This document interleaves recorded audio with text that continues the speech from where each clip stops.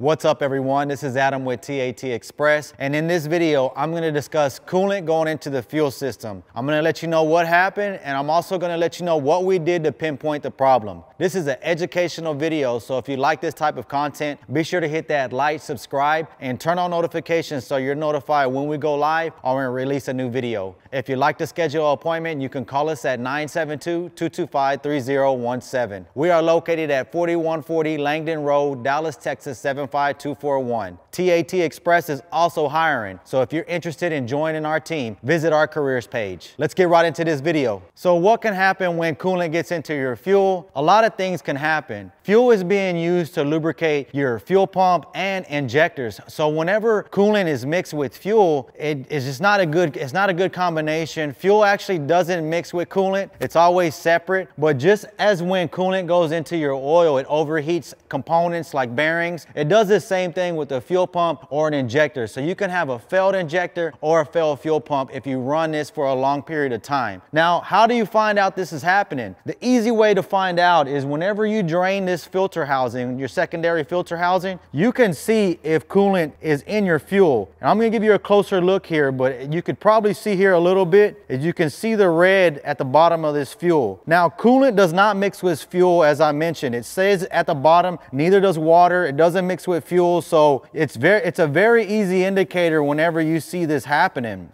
Now, what can you do to figure out what's going on? One note that I'd like to mention before we move on is sometimes if DEF gets mixed with your fuel, you can have this same kind of indicator, but it's gonna be more of a rusty look. It's not gonna be as red uh, as it is here. As you can see, the coolant is very red, so you can see this is very red. And the reason why that happened is you do have coolant going into your DEF to warm up the DEF to ensure it doesn't crystallize and dry up. So that's another indicator you wanna look out for. But since we know this is coolant, the next step that we have to do is actually, we're gonna have to take the valve cover off, take the rockers off, remove the injectors, and you're gonna wanna replace the hold down injector, the injector hold down and the bolt. You wanna replace those because there's a coolant cap that's on the top of, of the head of each injector. And if you don't do that, then what's gonna happen is when we pressurize this system to verify where which cup is leaking, because mostly it's all, all it's gonna be is the injector cups. But we wanna go ahead and verify it. So before we drain the cooling system, we're gonna pressurize it, remove the injectors as I mentioned, put the hold down bolts back on to ensure we don't damage the head while we pressurize the system. And that's gonna give us an indication which injector cup is leaking. A lot of times it's gonna be injector cups. So the, the reason why these injector cups leak is because you have O-rings that go on the bottom of each cup. Those are the actual seals that fail. And the reason why there's coolant going into the injector cup is to keep that tip cool whenever during operation. So so coolant's always surrounding the tip of the injector, but there's a cup sitting in the head that's actually sur that's surrounded by coolant. So that coolant is supposed to keep that tip of the injector cool during operations. So what happens is when that seal actually fails, then of course you're gonna have fuel going into the coolant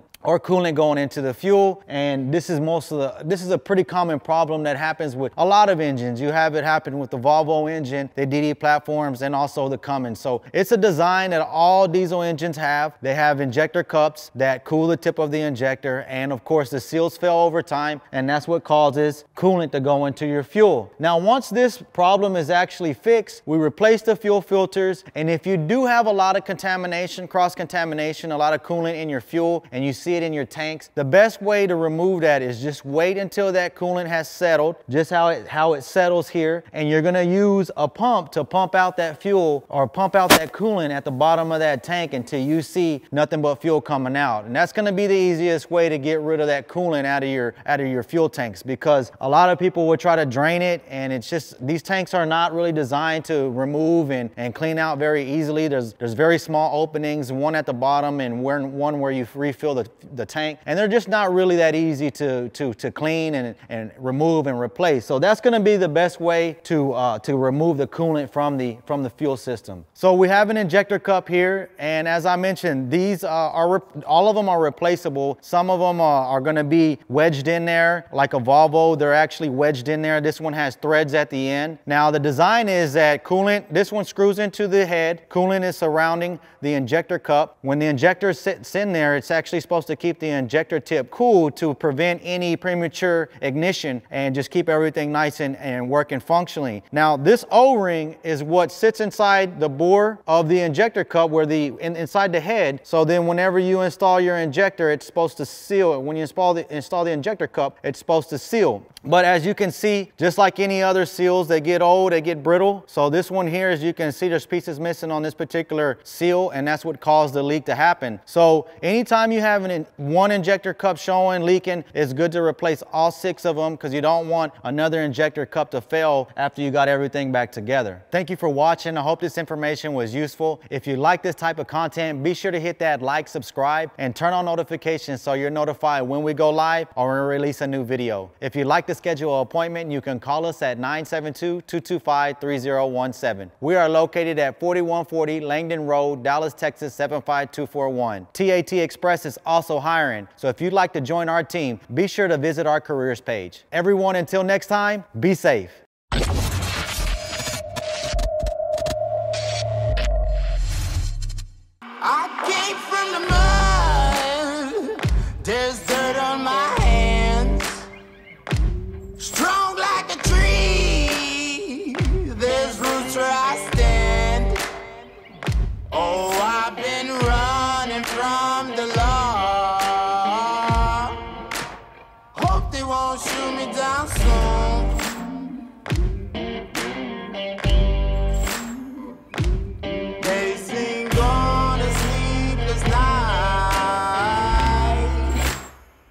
Catch me howling at the moon.